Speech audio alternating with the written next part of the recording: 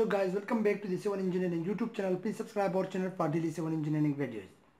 Today our lecture is about to analyze this frame and to find their support reactions. Here you can see the frame has two columns, one at the left end and one at the, on the right side and the, uh, the center is the beam. You can see here the beam is being supported by the two columns and the beam length is 15 meter while the two columns each having length of 10 meter. There is a one roller support and the one is a hinge support. So we are going to find the support reaction that how we analyze how we find the support reactions for a given frame. The load here acting is the lateral load of 2 kilonewton at the mid of this B column which is 5 meter from the bottom. Similarly the 4 kilonewton acting on the other side of the column. The beam is being loaded with the 3 kilonewton per meter which is a uniformly distributed load.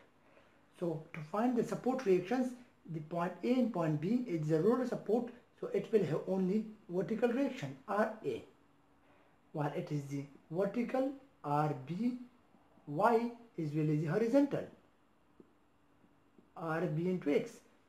So to find the support reactions I will solve in this way that I will take the summation of the moment at point B equal to 0 so by taking the moment at this point equal to 0 I can find the RA so RA can be found the RA into moment arm. The RA moment arm is 15 meter. You can see this distance from the A to B is 15 meter.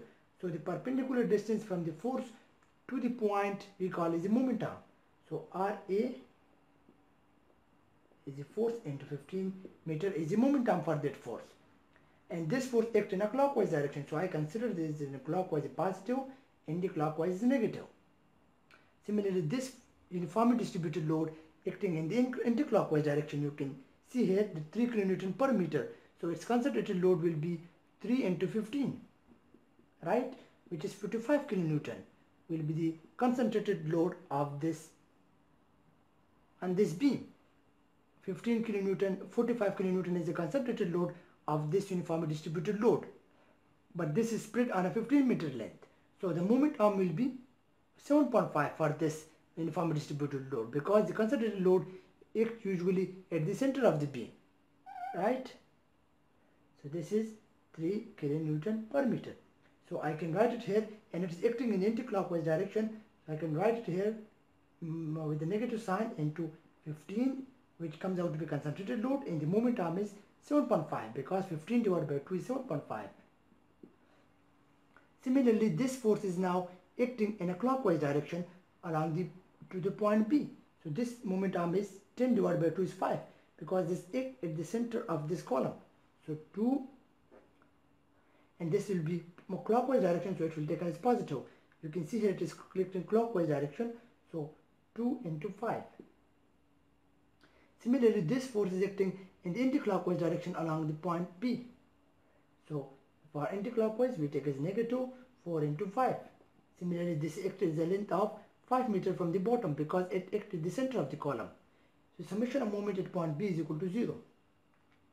So now by calculating this, we shift this value onto the right side and calculating we get some value of 20 this comes out to be plus 20 because we get, we put this on the right side with a positive sign 20 and this with a negative sign 3 into 15 into 7.5 comes out to be 3 337 into 0.5 into similarly uh, by moving this this will be positive because on this side and this will be comes out to be negative into minus 10 so now the 15 RA comes out to be 347.5 kilonewton. Now dividing this by 15 we will get the that the RA comes out to be uh, dividing this value by 15 the answer comes out to be 23.16 kilonewton so the RA resistance uh, the RA reaction comes out to be 23.16 kilonewton. Now to find the RBY we will take the, summation of moment. Sorry the summation of vertical forces is zero along the whole frame. So and taken this is in the positive direction upward and taken this is negative direction. So RA is acting upward and then 3 into 15 is acting downward. And then again suppose that the RB is acting in the upward direction is equal to 0 summation of forces in the vertical direction is equal to 0 so now the RBY can be found out by moving these on the right side. It is minus it is negative sign so it will become plus with the addition sign of 45 and RA will be subtracted which is RA was 23.16 so RBY comes out to be comes out to be 21 in 0.83 kilonewton.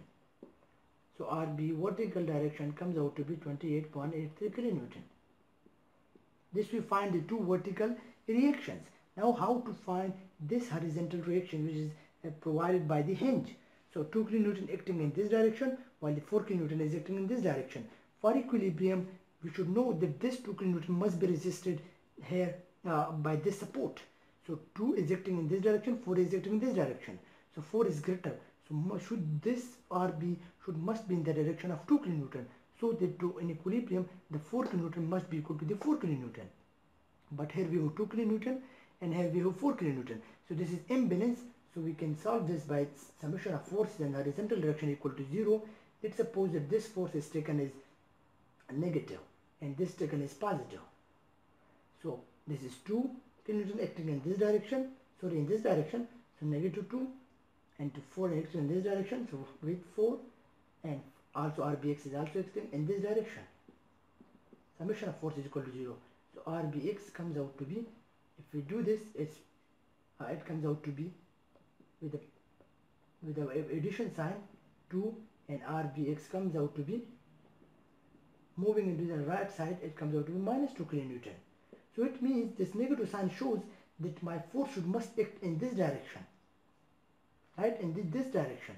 So I should change this force now in this direction. So this is my correct direction of the RB force RBX force. So now the 2 kilonewton and 2 kilonewton is also RBX so 2 kilonewton is this one. So 2 kilonewton in this and 2 kilonewton in this direction is being supported by this 4 kilonewton. You can see here. So all the horizontal forces are now have the equilibrium condition. Hope you guys understand how to find the support reactions for any given frame and don't forget to subscribe my channel for daily civil engineering videos. Thank you for watching my video.